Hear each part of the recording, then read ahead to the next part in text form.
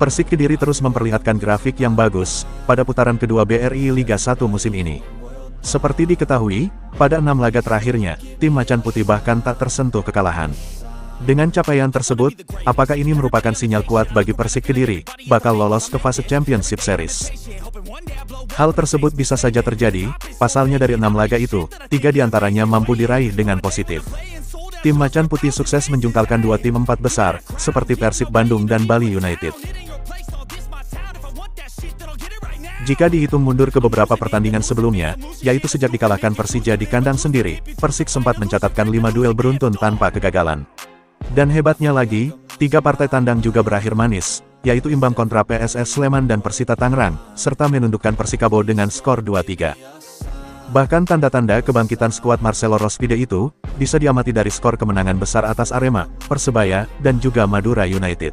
Padahal sebelumnya, pesta gol seperti ini sangatlah sulit diraih Persik Kediri, selama dua musim terakhir di Liga 1. Lantas apa yang membuat Persik Kediri, untuk bisa bersaing lolos ke babak Championship Series?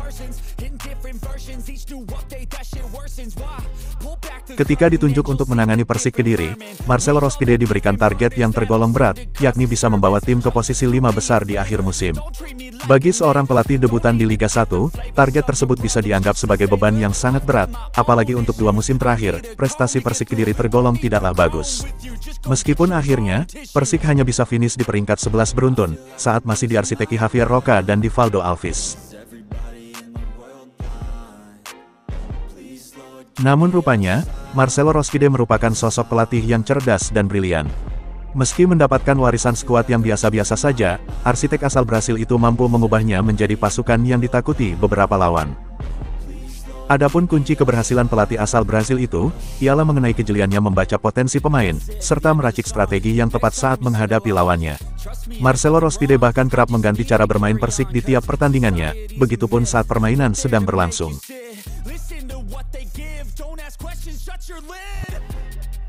Karena telah yakin dengan kekuatan yang ada di Persik Kediri, Coach Marcelo Rospide pun tak banyak menambah pemain baru pada bursa transfer kedua di musim ini. Seperti diketahui, Persik hanya mendatangkan empat punggawa baru, yaitu kiper Miswar Saputra, Irfan Bahdim, Ze Valente, dan juga Ahmad Nuri Fasya. Namun untuk dua nama terakhir, Persik hanya meminjamnya dari Persebaya, yang mampu menunjukkan performa bagus, serta menambah warna bagi permainan Persik Kediri. Perubahan permainan Persik juga sangat mencolok, yaitu ketika mereka mengalahkan Bali United di pekan lalu. Koneksi antar pemain terasa sangat padu, serta mereka mampu tampil lebih fleksibel saat pergantian posisi, untuk saling mengisi di sektor lapangan permainan.